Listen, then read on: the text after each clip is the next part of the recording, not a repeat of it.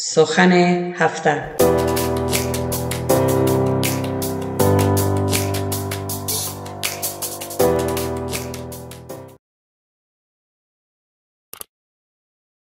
لطفا به چینل ما مشترک شوید.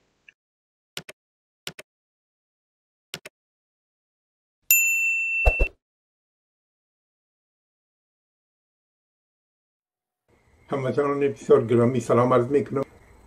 تعداد زیادی از هموطنان ما هستند که از سیستم متمرکز دولتی راضی نیستند و ادعا می‌کنند که جوابگوی نیازمندی های مردم در اطراف و اطناف کشور نیستند در دهات نیستند. مردم اطراف در اداری امور خود بسیار سهم کم دارند هیچ جایی سهم ندارند. هر چی که از مرکز هدایت داده میشه او تطبیق میشه و این مطابق به منافع مردم نیست. بنابراین یکی از ما به نظر شخص ما ما این این برداشته جدی می‌دانم برداشت درست می‌دانم از لحاظ منطق از لحاظ هدف عدالت اجتماعی که تقاضای همه مردم است که در افغانستان عدالت اجتماعی مراد شود و مردم سهم داشته باشند در تصمیم گیری بالای اداره اداره روزمره دولت و حکومت و, و کارهایی که در کشور انجام میشه و بالایشان تاثیر داره به این خاطر صحبت بالای این موضوع یک صحبت لازمی است و ضروری است. اما در گذشته یک در گذشته ترسی که وجود داشت نگرانی که وجود داشت مخصوص در 20 سال حکومت جمهوری اسلامی خطری که وجود داشت این بود که ما بازمانده های امی تنظیم های جهادی سرکرده های جهادی قماندان های محلی یا افغانستان به حوزه های نفوذ خود مبدل کرده بودن به جزیره های قدرت مبدل کرده بودن در زمان جهاد ضد اتحاد جمهوری ضد جنگ با دولت خلق و پرچم. یا این شکل جزیره های قدرت قوام یافته بودن متشکل شده بودن و این بخصوص در احزاب افغانی که در پاکستان مرکزیت داشتن و احزاب افغانی که در ایران مرکزیت داشته باشند بر اساس خطوط قومی یا تنظیم شده بودن خطوط قومی خطوط زبانی و خطوط مذهبی. کسایی که در ایران متشکل شدن همه شیعه مذهب بودند. کسایی که در پاکستان متشکل شدن همه سنی مذهب بودن و باز هم در بین سنی مذهب ها نظر به هر گروه سمتی بود گروه مختلف بود. که این زمانی که مجاهدین به قدرت رسیدن در سال 1992 تا 96 افغانستان به یک فاجعه مبدل, مبدل کردن. جنگ هایی که با هم انجام دادن. زیر نام قومیت و زبان و مذهب و دست یافتن به قدرت هرچی بیشتر دولتی افغانستان به مخروبه تبدیل کردن. خطری که امروز در افغانستان در 20 سال گذشته موجود بود از غیر متمرکز شدن نظام سیاسی افغانستان یا نظام اداری افغانستان بگویم نظام اداری ملکی افغانستان همی بود که مردم با تجربه بدی که داشتن از زمان جهاد جهادیون و حکومت مجاهدین 1996 نمی‌خواستن دوباره همین جزیره قدرت احیا شوه و دوباره مردم در دهات و اطراف افغانستان زیر اسارت و زیر بندگی امی جنگ سالارا قماندان های جهادی بازم قرار بگیرن اما امروز یگانه دلیل مثبت یگانه اثر مثبتی که ما از از بین رفتن یا از متواری شدن این قماندان های جهادی و این سرکرده های گروپ تنظیم های جهادی اینجا در با وجود آمده است که ما امی جزیره های قدرت از بین رفته در افغانستان. وقتی جزیره های قدرت از بین رفته بنابراین خطر تجزیه افغانستان هم منتفی شده. و ما می‌تونیم بدون دقیقه خاطر بالای بهبود و اصلاح اداری ملکی افغانستان یا تشکیلات ملکی افغانستان صحبت کنیم و در ایجاد از او کار کنیم. و مطمئن باشیم که ما در نتیجه ای تمرکز بالای بهبود و اصلاح اداره ولایات و محلات افغانستان یا اداره افغانستان در ولایات هدف رسیدن به عدالت اجتماعی.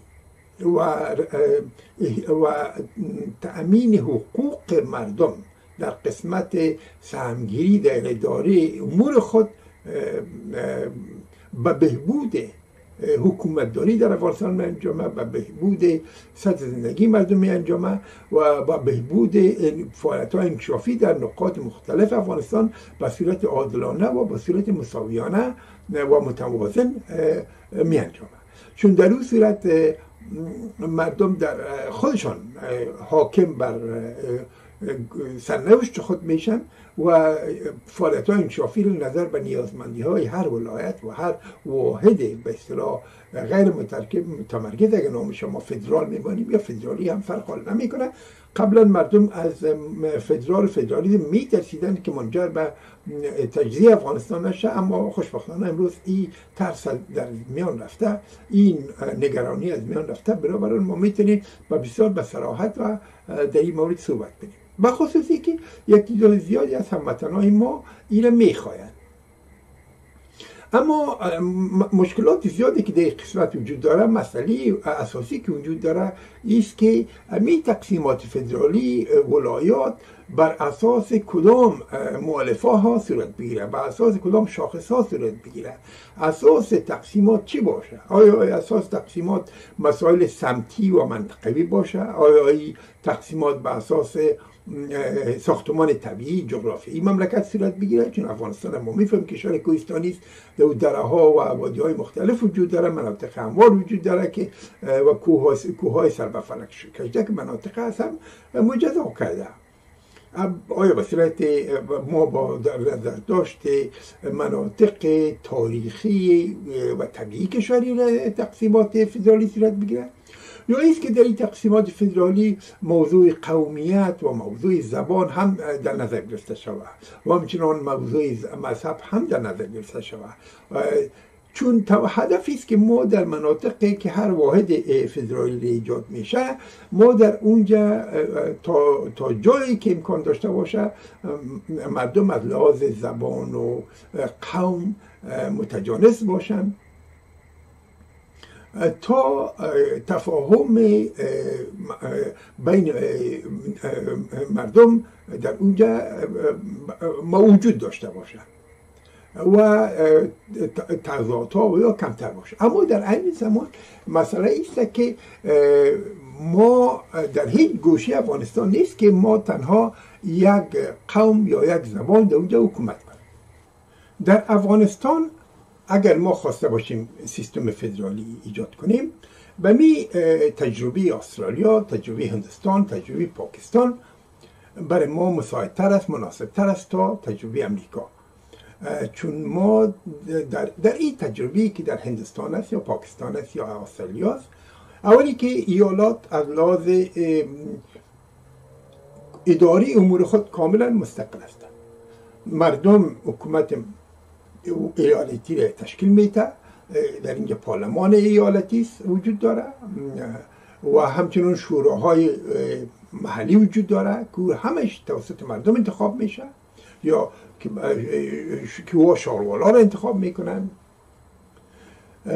یعنی اداره در استرالیا به سه طبقه است.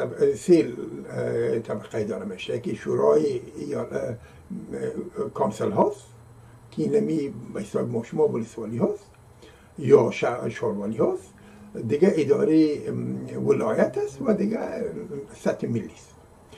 در, در, در سطح محلی که دو واحد است یکی نمی شاروالی هاست یا کانسل هاست یا ولسوالی ها که بگیریم کانتی ها. و دیگه اداره ولایت است که توسط شورای ایالت که انتخابی است اداره میشه و در رأس از او یا پریمیر یا صدر یا وزیر اعلا اگه نامش میتین در مثلا در پاکستان هم در هند هم وزیر اعلا نامش مانده مور می‌تونیم وزیر اعلا در نامش بانیم و والی در جدا باشه وزیر اعلا جدا باشه.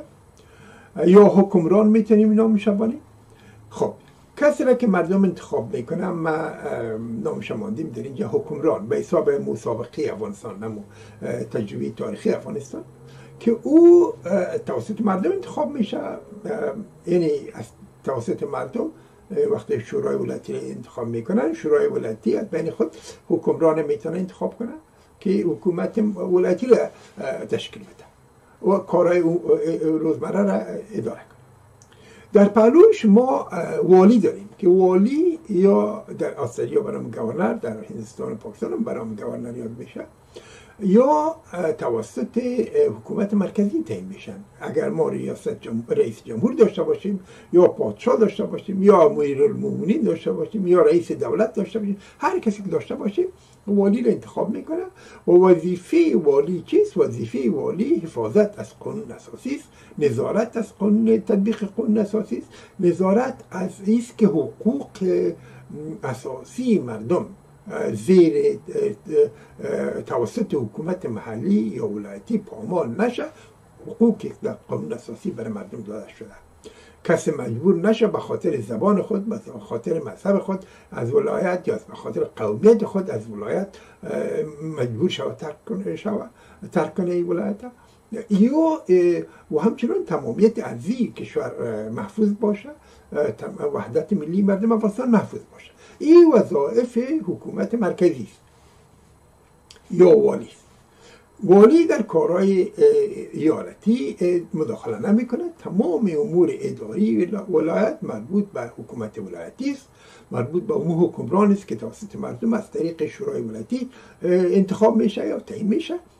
و, و مردم خودشان می‌فهمند که در امور زندگی خود هرچی خود دلشان خواسته باشه در قوانین مدنی که در پارلمان خود در پارلمان یا شورای ولایتی تعیین می‌کنن تصویر می‌کنن اداره می‌کنن ایالت خود. موضوع آیدات و مالیات توسط قانون اساسی تعیین میشه که سهم ولایات سهم هر واحد اداری از بودجه دولت به اساس فیصدی نفوس ولایت می باشه برای کارهای انشافی و کارهای پیش همچنان واحدهای اداری منابع عایداتی داخلی خود می داشته باشن از طریق فعالیت های تجارتی از طریق تعرفه ها از طریق جوازها license ها و غیره. مثلا صفای کوچه تکس بالای خرید فروش جایدادها و غیره. اما مالیات بر عایدات انفرادی و شرکت ها این مربوط بس به حکومت مرکزی. در استرالیا همینطور است مالیات بر عایدات فردی و مالیات شرکت ها مربوط است به حکومت مرکزی. که حکومت مرکزی ای را جمع می‌کنه همچنان عواید گمرکی مملکت مربوط به حکومت مرکزی است. و, ایو را حکومت مرکزی جمع می‌کنه و از ای اواید مصارف حکومت مرکزی پرداخته میشه و سهم هر ولایت با اساس نفوس از در هر بودجه در هر سال در, در نظر گرفته میشه و پرداخته میشه. تا فعالیت های انکشافی با اساس از انجام میشه خب هدفی است که عدالت اجتماعی برقرار شد در 20 سال گذشته همه روزه موضوعات قومگیری رو بودیم. حتی ای از, از اگر لاز گذشته بگوییم ای شروع شده از زمانی که تنظیم های جادی در پاکستان شکل گرفتن و تنظیم های جادی در ایران شکل دادن. تمام این تنظیم ها قسم قبلا گفتم بر اساس خطوط قومی خطوط زبانی ایجاد شده بود. در این کار خارجی ها بسیار سهم داشتن. این دامن زدن. باور کنین ما در افغانستان وقتی که در مکتب بودیم وقتی که در پانتون بودیم ما هرگز یادم نمیاد که از بالفعل خود پرسان کرده باشیم تو از کجا هستی؟ برای ما همه یکی بود. یا از کلام قوم است یا همه یکی بود. ما این سوال مطرح بود برای ما. اما وقتی خارج آمدیم بخصوص وقتی ما پاک آسترالیا آمدیم سال 1986 وقت روزنامه ها رو میخواندیم رادیو تلویزیون میشنیدیم اوضاع افغانستان. وقتی او صحبت می‌کردن مثلا می‌گفتن که امروز در کجا اکرام حمله شده و کی مثلا می‌گفتن گلبودین حکمتیار پشتون تبار. یا مثلا می‌گفتن که ربانی تاجک تبار یا مثلا فلانی در روزنامه هم چه می‌شد یا مزاری هزاره گفته می‌شد. این برای ما نو بود ما بسیار تعجب می‌کردیم. یا خود من شخصا برای من نو بود تعجب می‌کردیم که چرا یا قوم در پولش می‌گیرن؟ خب یا همهشان افغان هستن بگوین که گلبدین حکمتیاری کار کرده بگوین که برهان الدین ربانی مثلا نفرایشی کار کرد اما نه یا تاکید اساسی بالای قوم و زبان بود این بسیار برای من هم نو بود هم بسیار نگران کننده بود و ما نتایج از امروز فهمیدیم که چی به سر افغانستان آورد این خارجی ها این مشاورینی که وجود داشت در در مطبوعات غربی در سنی سیاست غربی تمام روز به گوش رؤسای جمهور به گوش حکومت های از یا مسائل قومی افغانستان چیز می‌کردن دیکته می‌کردن و همیشه را می‌گفتن که به دروغ که افغانستان هرگز حکومت مرکزی نداشته و حکومت مرکزی قوی نداشته و ما افغانستان همیشه ملک و توایفی بوده. در حالی که دروغ است درست نیست. در زمان بود که ما در مکتب سنفای دوازده یا بودیم یا سنفای اول فاکولته و یا یعنی در پنج سالی که من در پانتون بودم ای به خاطر دارم در مکتب که بودیم مثلا ما از کابل حرکت می‌کردیم شام در موتر طرف هرات می‌رفتیم یک هزار کیلومتر راست. هیچ گپ نبود به بسیار آرامش و خاطر جمعی تا هرات می‌رفتیم. نه جنگی بود نه امنیت کابل برقرار بود. پدر من قماندان امنیه بود در ولایت مختلف در فرا مثلا قماندان امنیه بود. در یک ولسوالی یکی دو تا پلیس می بود. تمام ولسوالی که سی چل هزار نفوذ داشت امنیت وجود داشت. هیچ واقعی رخ نمی‌داد. این و, و مالیات مردم می‌دادن مطابق مرکز حکومت مرکزی بودن. هیچ مشکلی وجود نداشت. این دروغ بزرگی بود که از نادانی و از نفهمی خارجی ها و مشاورین کذایی به اصطلاح بگوییم وابسته سر مردم افغانستان تحمیل شد و ما به جای رسید که این اقوام مختلف تشویق و ترغیب کردن که شما به حقوقتان بخواین و بخیزین و غوغا کنین و کوشش کنید که بر اساس برای قومتان برای زبانتان چیز کنید وفادار باشین و در اینجا منافع ملی وجود نداره وجود منافع سمتی و منافع قومی و منافع و این به گوش یک تعداد رفت و یک تعداد یاغی شدن. به اساس و البته بازم بگویم که یک عامل دیگه در این قسمت وجود داشت که اون عامل خارجی است. مثلا در زمان حاکمیت حزب دموکراتی خلق پرچم خلق این از طرف خود مشاورین شوروی هم دامن زنه شد. مشاورین اتحاد شوروی وقتی دیدن که افغانستان اختشاش ضد دولت ادامه داره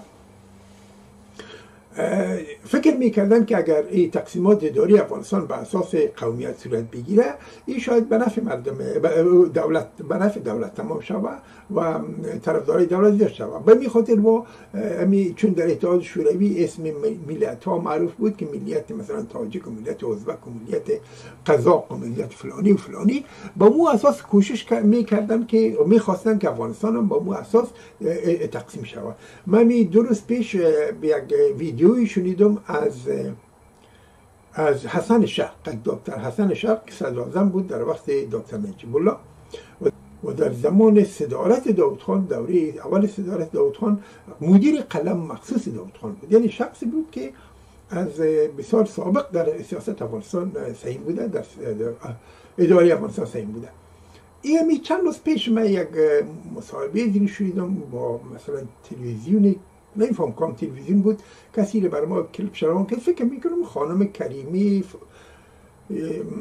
این چیز می‌کرد مصاحبه می‌کرد. و این واضی گفت که در زمان دکتر نجیب مشاور شوروی شمال افغانستان می‌خواستن که از طرف تاجیکا اداره شوه نجیب مسیر روان کرده در شمال افغانستان کور رئیس دفتر کشتمند بود در سابق این روان کردن که تو پاچای شمال باش یا واکم حکمران شمال باش. او وعده داده بر تاجیکا که مناطق شماست. و همچنان دیگه کسار دیگه جایا امیر خود حسن شق گفت زمین نام نجیب مسیر هم امیر حسن شق گرفته میگم.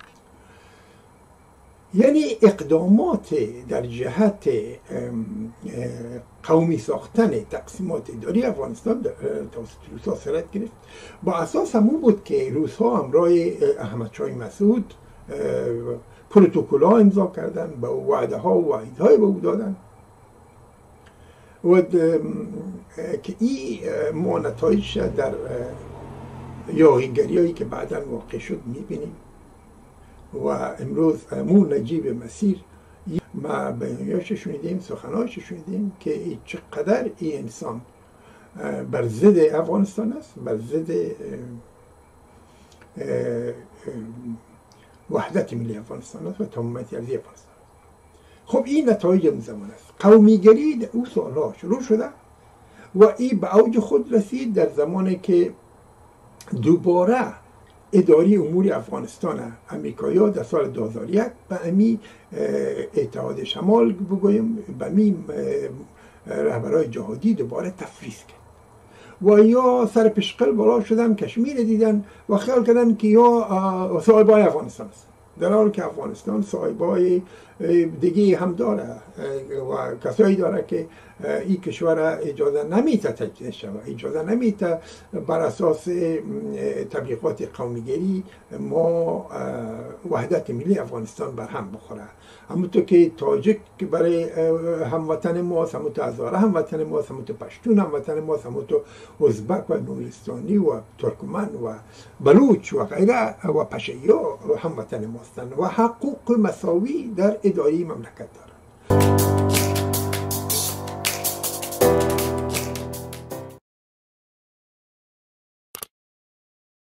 لطفا به چینل ما مشترک شوید.